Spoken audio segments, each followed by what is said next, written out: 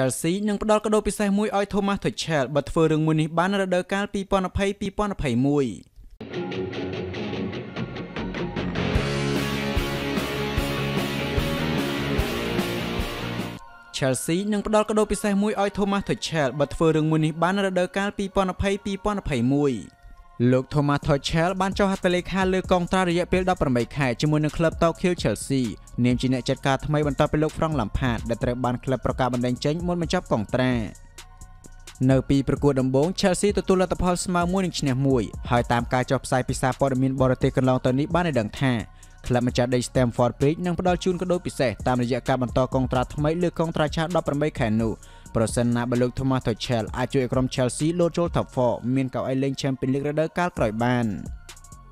បច្ចុប្បន្ន Chelsea ឆ្លងកាត់21ជុំមាន33ពិន្ទុឈរនៅលេខ7ហើយត្រូវការ6ពិន្ទុទៀតដើម្បីតាមស្មើក្រុម Top 4គឺ Leicester City គួររំលឹកថាបរិះវ័យ47ឆ្នាំដំបូងឡើយបង្ហាញការអន់ចិត្តដែរពាក់ព័ន្ធទៅនឹងកងត្រាដែលទទួលបានត្រឹមរយៈពេល18ខែតែលុះគិតរួចទៅក៏យល់ឃើញថាมันអីទៅវិញ Thomas Tuchel ទម្លាយពាក្យក្នុងចិត្តបែបនេះថាដំបូងខ្ញុំបង្ហាញការត្អូញត្អែដែរដោយគិតថាហេតុអ្វីបានតែ18ខែតែពេលគិតមួយនាទីរួចមកហើយខ្ញុំយល់ឃើញថាមានអ្វីផ្លាស់ប្ដូរទៅ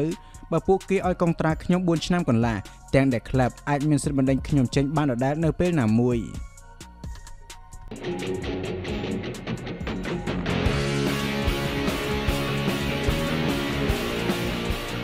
ជើកិនក្លបបញ្ជាក់ជាផ្លូវការកីឡាករសំខាន់មួយរូបនឹងអវត្តមានដល់បញ្ចប់រដូវកាល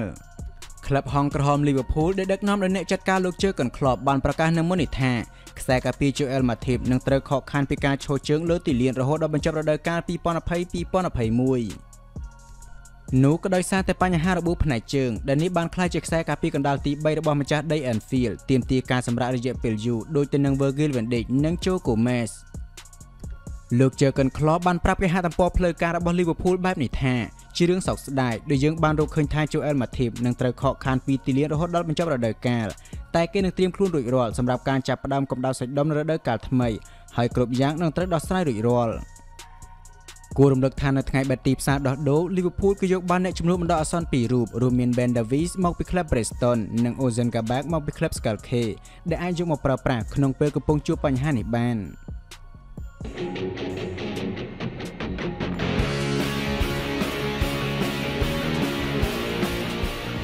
ណាវិលនិយាយថាបច្ចុប្បន្នមានកីឡាករនៅព្រីមលីក3រូបនេះប៉ុណ្ណោះដែលកំពុងស្ថិតនៅក្នុងលំដាប់ពិភពលោកជើងចាស់ Logari Neville បានបញ្ជាក់ឲ្យដឹងថាមានតែកីឡាករលំដាប់ពិភពលោកទៅ3រូបនេះប៉ុណ្ណោះនៅក្នុងក្របខ័ណ្ឌព្រីមលីកបច្ចុប្បន្នហើយគ្មាននរណាម្នាក់មកពីក្រុមបេសាចក្រហម Manchester United នោះឡើយ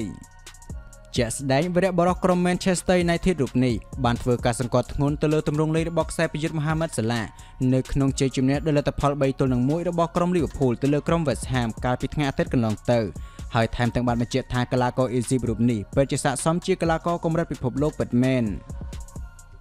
មិនតែប៉ុណ្ណោះលោក Neville បាននិយាយទៅកាន់កម្មវិធី Gary Neville Podcast របស់ខ្លួនថា យើងគម្រប់ដល់ចំណាត់ថ្នាក់សម្រាប់កីឡាករនៅកម្រិតពិភពលោកណាហើយវាពិតជាមានកីឡាករលំដាប់ពិភពលោកមួយចំនួននៅក្នុងក្របខ័ណ្ឌ Premier League យើងនេះ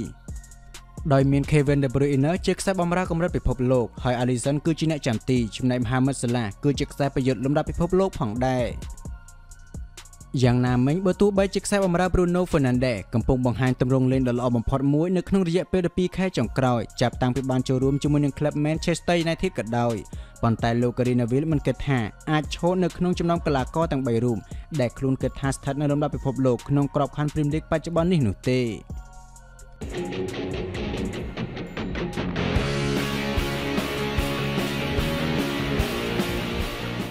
អឹមបាប៉េកំពុងព្យាយាមបញ្ចុះបញ្ចូលឲ្យតារាឆ្នាំស្ពឺម្នាក់ផ្ទេរមកលេងជាមួយខ្លួននៅក្នុងក្រុម Paris Saint-Germain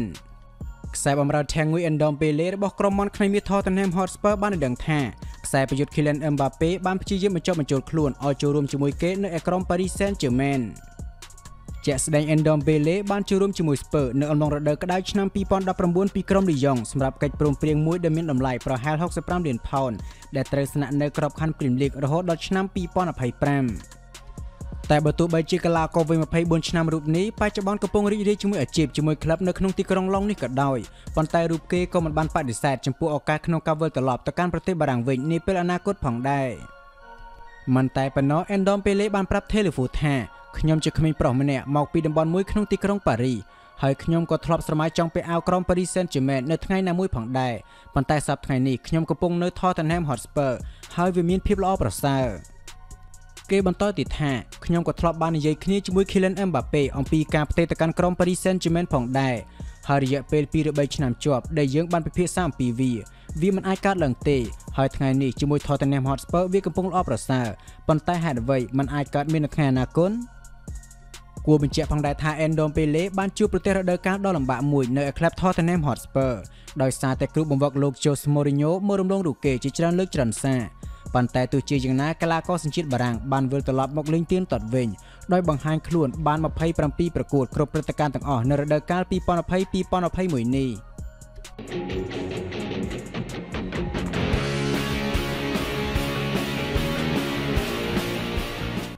មេថមបាយិនម៉ាណេតនិយាយថាទាំងលីវើពូលនិង Chelsea កំពុងចាប់ចិត្តលើតារាឆ្នាំនៅបណ្ឌេលីការូបនេះដោយខ្លួនដែរ យោងតាមលោករ៉ូម៉ានិកនាយកប្រតិបត្តិក្លឹបបាយិនម៉ាណិកបានបញ្ជាក់ថាទាំងក្រុមហុងក្រហមលីវើពូលនិងក្រុមតោខៀវ Chelsea កំពុងចាប់អារម្មណ៍លើកីឡាករដែលយត់អាផាមេកាណូដោយខ្លួនដែរជាក់ស្ដែងអាផាមេកាណូបានក្លាយជាកីឡាករដែលទទួលបានការចាប់អារម្មណ៍ខ្លាំងបំផុតមួយនៅទ្វីបអឺរ៉ុបក្នុងរយៈពេល2ឆ្នាំកន្លងមកនេះដោយសារតែសមត្ថភាពការពាររបស់គេបានកើនឡើងយ៉ាងឆាប់រហ័សនៅឯទឹកដី Red Bull Arena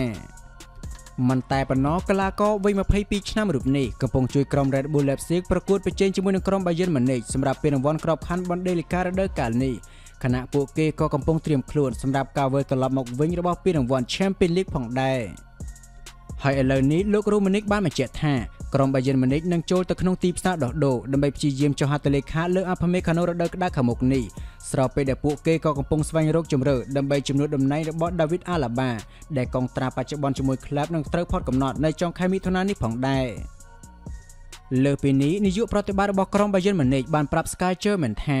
បន្ថែមពីលើក្លឹប Bayern Munich យ៉ាងហោចណាស់មានក្លឹបគួរឲ្យតាក់ទាញពីរទៀតដែលកំពុងចាប់អារម្មណ៍លើ Upamecano ផងដែរ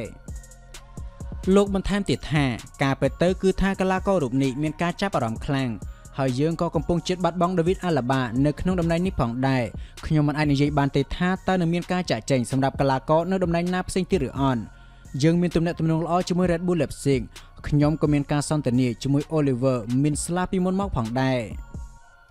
ប៉ុន្តែអ្វីដែលសំខាន់គឺក្រុម Chelsea និង Liverpool ក៏កំពុងចាប់អារម្មណ៍ទៅលើ Upamecano ដែរ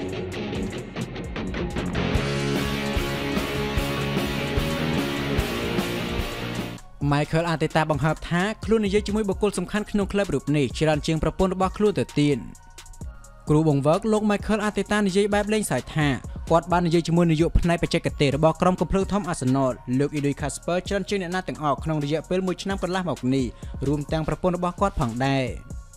ជាក់ស្ដែង Michael Arteta បានវិលត្រឡប់មកកាន់ទឹកដី Emirates វិញដើម្បីចូលកាន់តំណែងជំនួសលោក Unai Emery ក្នុងខែធ្នូឆ្នាំ2019ខណៈដែលបានធ្វើឲ្យគាត់ត្រូវប្រឈមមុខជាមួយរឿងជាច្រើនដូចជាការរៀបចំក្រុមឡើងវិញគួបផ្សំជាមួយនឹងបញ្ហាដែលបណ្ដាលមកពី COVID-19 ហើយវាតម្រូវឲ្យគាត់មានភាពមមាញឹកខ្លាំងជាមួយក្លឹបរួមជាមួយនឹងលោក Edu ផងដែរយ៉ាងណាមិញដោយនិយាយមុនពេលការប្រកួតរបស់ Arsenal ទល់នឹង Wolves លោក Michael Arteta បង្ហាញថា ប្រហែលចាប់តាំងពីឆ្នាំមុនខ្ញុំបាននិយាយជាមួយអ៊ីឌុយច្រើនជាងអ្នកណាទាំងអស់ក្នុងជីវិតរបស់ខ្ញុំលោកបន្ថែមទៀតថាប្រកាសណាដោយសារតែរឿងដែលយើងត្រូវឆ្លងកាត់ជាច្រើនដូចជាបញ្ហា COVID-19 និងបញ្ហាក្នុងការរៀបចំក្រុមថ្មីផងសំណាងណាដែលយើងទាំងពីរមានទំនាក់ទំនងល្អនិងមានភាពយោគយល់គ្នាដូច្នេះហើយទើបបានជាធ្វើឲ្យពួកយើងអាចធ្វើការជាមួយគ្នាបានស្រួល។